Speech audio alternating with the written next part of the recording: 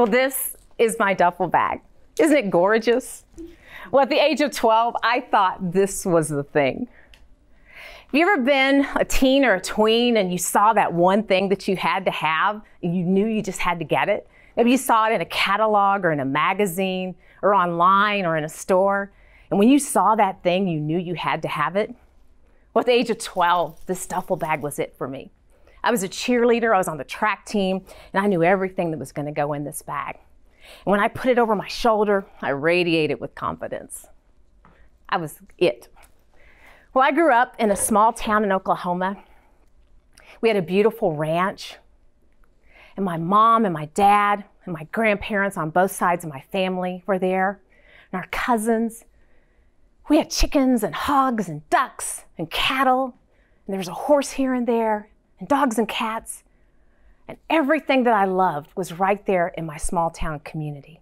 And I radiated with confidence. I had a loving grandmother.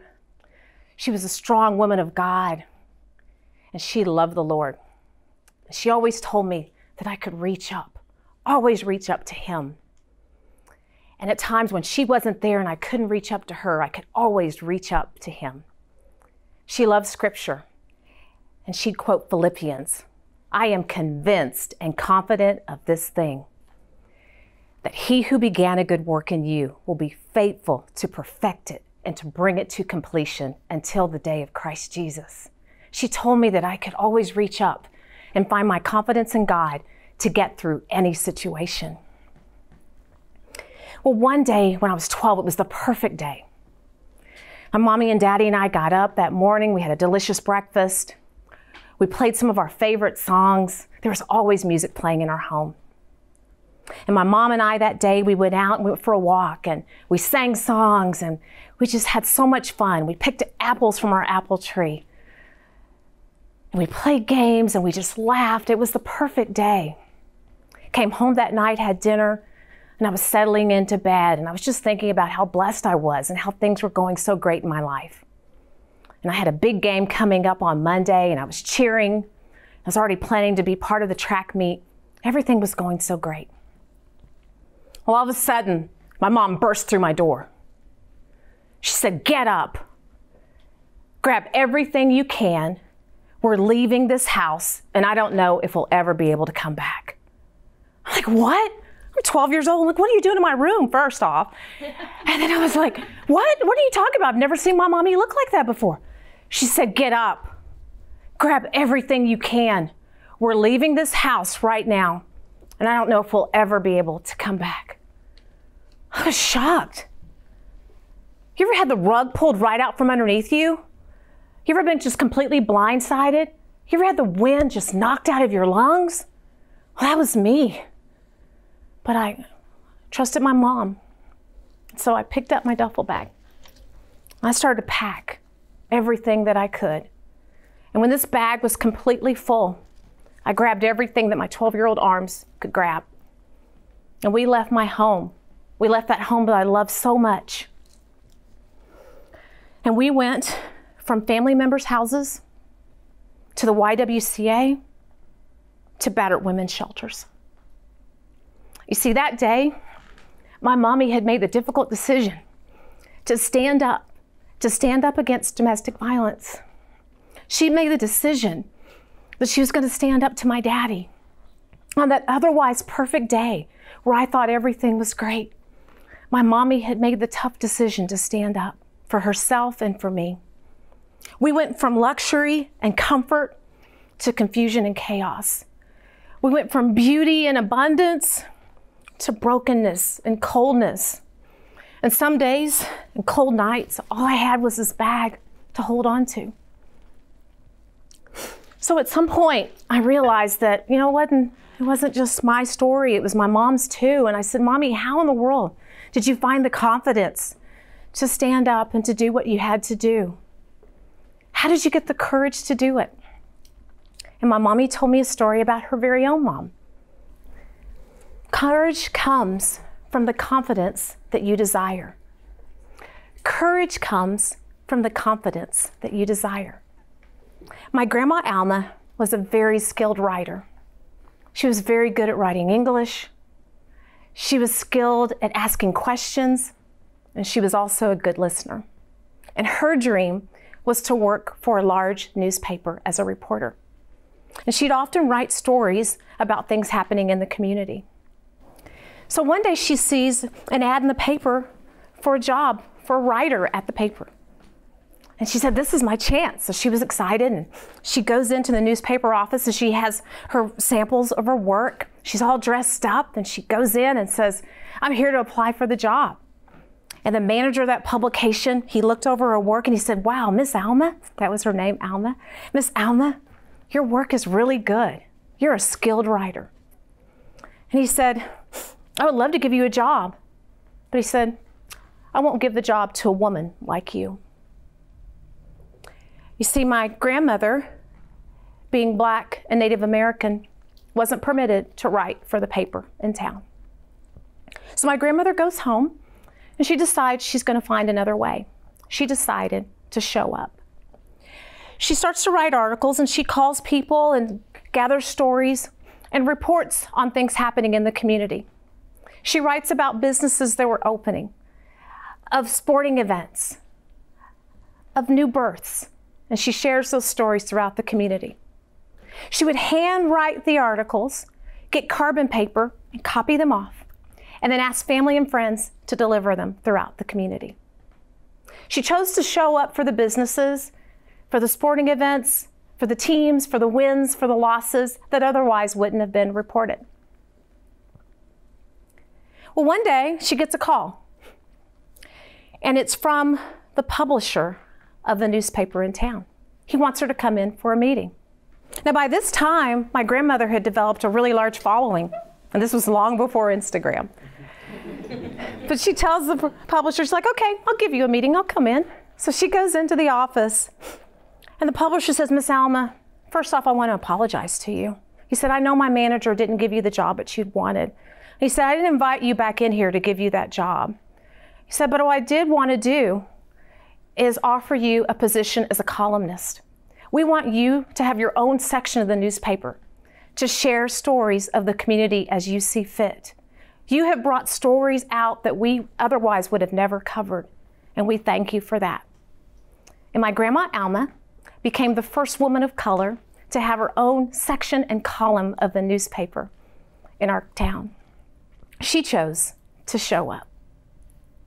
Well, my mom and dad's divorce finally was finalized, and we went through some uh, transitions. And we had visitation set up, and I was able to spend some time with my daddy. And I was still heartbroken. I was still in so much pain, and I was angry and bitter. But I wanted to talk to my daddy and understand how could he do this? How could he hurt us? Why would he have destroyed so many of my dreams and the things that I thought was certain? So I sat down with my daddy and he said, I'm sorry. I've asked your mom for forgiveness and I'm asking you to forgive me as well. He said, I let my anger get the best of me and I was not living out the godly life and the purpose that I was destined to live out. He said, though I've made some mistakes in my past, those mistakes won't define my future. He said, I need to grow up. I've got to grow up and into the man that God has destined me to be. I have to grow up and into the purpose that God has set in place for me. Confidence comes from not always being right, but having the courage from not fearing being wrong. My daddy had to grow up. I'm grateful for the powerful examples of three godly, confident women and one humble, repentant, godly man. And so it was with that confidence that I reconnected with a friend back in 2018. He owned a TV production studio, and we started talking about ideas of ways to bring to the stage powerful stories of transformation, of inspiration, bringing educators and authors and leaders to the stage to share their unique messages with the world. We knew that we had an idea that could create life change. And from those conversations came Speak Up, sharing unique messages and stories with the world. Speak Up. Confidence is a journey, not a destination. Did you know that all the confidence you need is right inside you? All you have to do is reach up. He who began a good work in you will be faithful to bring it to completion. Reach up. What injustices are you seeing in this world that you need to stand up to? Where can you take a stand and support someone who may not have an advocate to be there to stand up for them?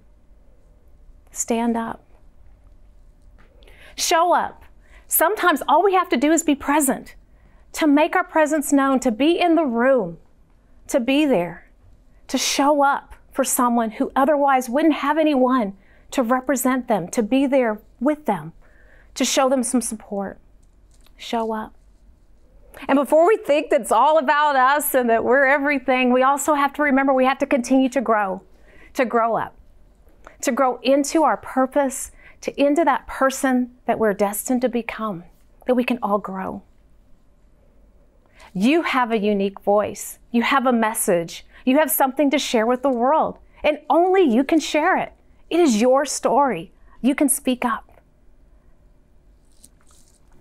So, my mommy and daddy were together with me for some of the most important moments of my life.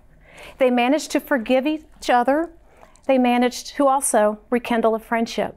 They had known each other since they were little kids, and they were able to do that. My mom and dad were there with me at my high school graduation. They were there at my college graduation. And when I crossed the stage for graduate school, my mommy and daddy were there. They were there on my wedding day, standing by my side. And it was my mom who was at the home of my dad, surrounded with family and friends, when my daddy went home to be with the Lord. Godly confidence can transform lives. It can help us work through situations that we never thought possible. It can propel us to forgive, to heal wounds, and to become the person that we're destined to be. One of the stingiest symbols is a closed fist. It's cold, it's hard, it's distant.